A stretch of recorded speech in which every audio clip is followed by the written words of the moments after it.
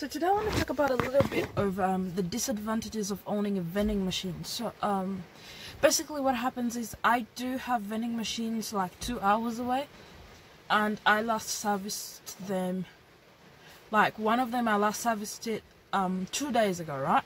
But then yesterday I got a phone call from my location saying, well, the machine has just resetted all the prices to um, four dollars. Four dollars is good for me, but it's not a good customer, you know, care service and things like that. So what happened is I'm heading down there today, which is supposed to be my day off, and I was just down there two days ago. So this is really frustrating. These are the things you have to look at um, out for while owning a vending machine business. It is completely ridiculous. I do feel like it is. Um, it is, you know, it's it just finishes all your energy. It takes all. It takes time.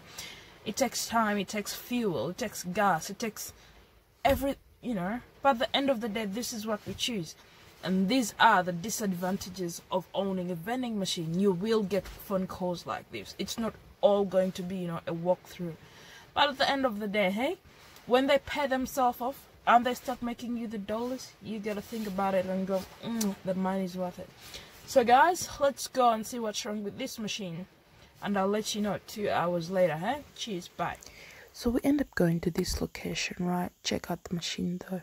It's been two days and we have, um, I believe it's like two or three empty columns. No, two. And then we have soft drink nearly running out. So this location is a good performer, but as I said, it was charging four dollars for everything, so that was not a good thing. Um, I thank God I got the phone call as soon as I got it and I had to go down there. It's a two um it is two hours from my house where I live. Um and yeah, it is a bad thing when these things happen because at the end of the day you have to provide better or the best customer service and I'm so glad I got this phone call. Um, when you do this kind of business, you do realize it's not all about you, it's all about the customers and good customer service is always gets us into better location good location makes us make friends.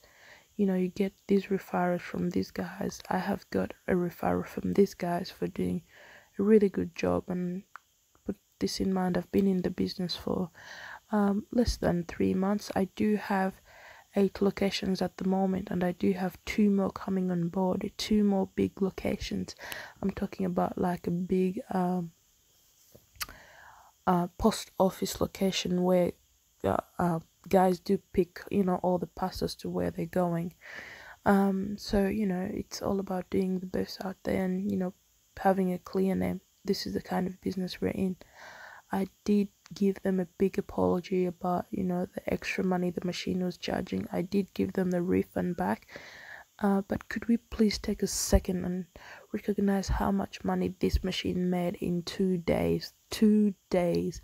That was a total of $62, and I gave them back $20 to say, hey, I'm sorry for what had happened, but if any of you guys lost, you know, that money, you guys can have that. That's okay with me. Um, I'm so sorry that had happened.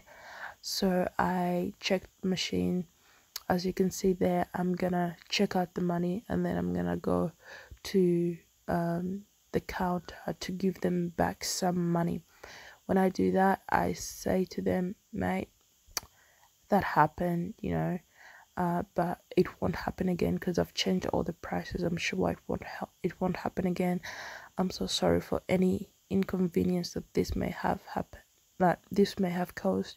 And I say to them mate um when it happens again i do always appreciate these phone calls. Look right there i had like put my my keys under there and i was just like going to the car after i had paid off um the money that the machine had you know had taken. Um and then after there i went and you know did a background check on the machine and serviced it all well and I had to be two hours uh, drive back home because yeah two days servicing a machine in two days but it did two it did really really well for two days this is a um a mechanic's shop these guys do fix cars. They are the best in Brisbane. Um, they do not have too many employees, but they smash these things up. Um, so other than that, thank you guys for watching. I do appreciate all your efforts watching, supporting me, and everything. So please like, share, and subscribe. Thank you. Bye.